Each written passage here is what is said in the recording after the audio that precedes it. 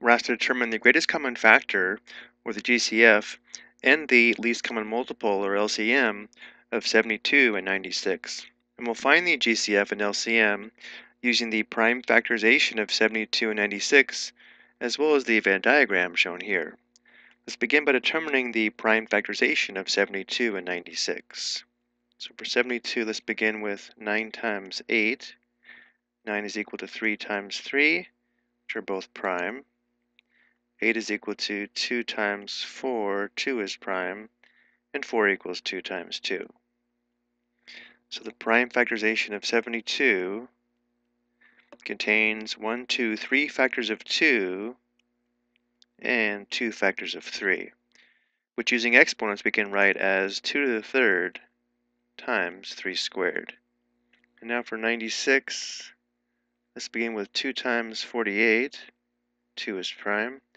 48 is equal to 8 times 6. 8 is equal to 4 times 2. 2 is prime. And 4 is equal to 2 times 2. And 6 equals 2 times 3. Both 2 and 3 are prime. So the prime factorization of 96 contains 1, 2, 3, 4, 5 factors of 2 and a factor of 3.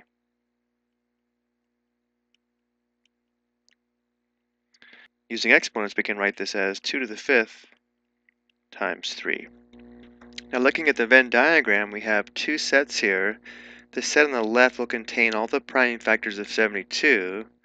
The set on the right will contain all the prime factors of 96. And this overlapping region, which we call the intersection of these two sets, will contain the prime factors that are in both 72 and 96. So let's determine the prime factors 72 and 96 have in common. Notice how both 72 and 96 have three factors of 2 as well as one factor of 3 in common. So because both 72 and 96 share these prime factors, these prime factors will go in this overlapping region or the intersection of these two sets.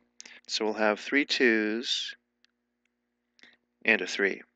Because these prime factors are in both 72 and 96, the product of these primes will give us the greatest common factor, where the greatest common factor, or GCF, is the greatest factor or largest factor that divides two numbers. So we can always find the greatest common factor by determining the product of the primes that are in both numbers. Which means here the greatest common factor is equal to 2 times 2 times 2 times 3, or 2 to the third times 3, which equals 8 times 3, which equals 24.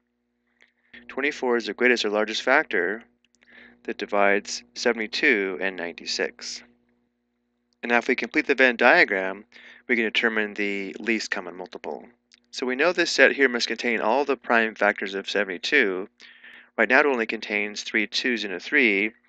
Notice how it's missing this extra factor of 3. So this extra prime factor of 3 must go in this region here. This 3 is a prime factor of 72 that's not a prime factor of 96 already listed here. And now looking at the set on the right, we want this set to contain all the prime factors of 96. Looking back at the prime factors of 96, notice how this set is missing two more factors of 2, and therefore we include these two prime factors in this region here. Notice now, this set contains all the prime factors of 96, and this set contains all the prime factors of 72 which means if we combine all these prime factors, or multiply all these prime factors together, we can determine the least common multiple, where the least common multiple, or LCM, is the least number that is a multiple of two numbers, and the LCM is also the smallest number that is divisible by two numbers. So again, we can find the LCM by combining or determining the union of these two sets, which means the least common multiple is going to be equal to 1, 2, 3, 4, 5 factors of 2 and 2 factors of 3. So 2 times 2 times 2 times 2 times 2 times 3 times 3, which is 2 to the 5th times 3 squared, which would be 32 times 9, which is equal to 288. So 288 is the least common multiple of 72 and 96, which means 288 is also the smallest number that's divisible by 72 and 96. I hope you found this helpful.